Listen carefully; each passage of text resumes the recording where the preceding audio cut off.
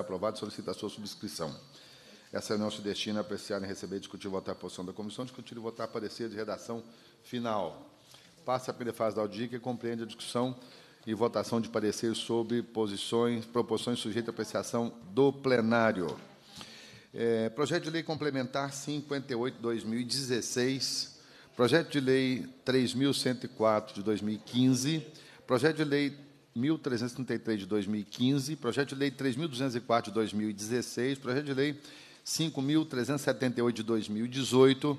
Essa presidência avoca para si a relatoria das matérias aqui relacionadas. E, da mesma forma, opino por dar às proposições a redação final em conformidade com aprovado pelos novos pares durante a tramitação. É... Agora é só em votação, né? Em votação. Em, em discussão. Onde está aqui, a, a, aqui na. Aqui. Onde discussão? Ah, aqui?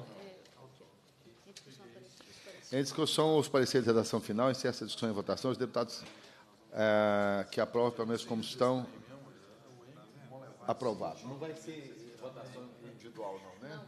Tá bom. Já está o seu aí, né? É. Agora, projetos de lei 4.290, 5.006, 5.017, 5.282, 5.284 e 430. A presidência é, designa relator o deputado Tito Torres. Indago mesmo está em condições de emitir o seu parecer. Em condições, senhor presidente. Com a palavra, deputado Tito Torres. Opino por dar às proposições a redação final em conformidade com o aprovado pelos nobres pares durante a tramitação.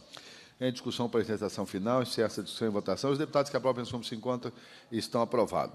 Os demais projetos de leis 574 de 2019, 648 de 2019, 644 de 19, 835 de 19, 862 de 19 e 866 de 2019.